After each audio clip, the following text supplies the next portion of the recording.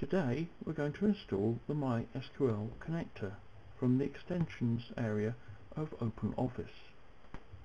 The MySQL connector enables you to use MySQL natively instead of relying on the ODBC or JDBC connectors.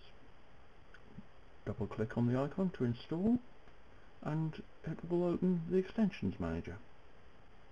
Click OK and scroll to the bottom of the page. Click accept to accept the license. Click close when you're finished. Now we need to create a new database because databases work as the interface between OpenOffice and the data source, in this case MySQL. So we need to connect to an existing source, choose MySQL and choose Next. Now we've got the option to connect directly. We need to enter the database name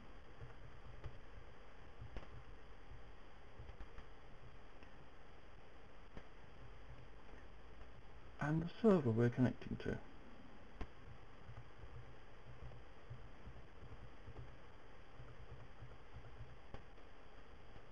Click Next. And you need to use a username that has remote access to the server. So in this case I'm going to use a user I created called Craft User. We need a password, we'll test the connection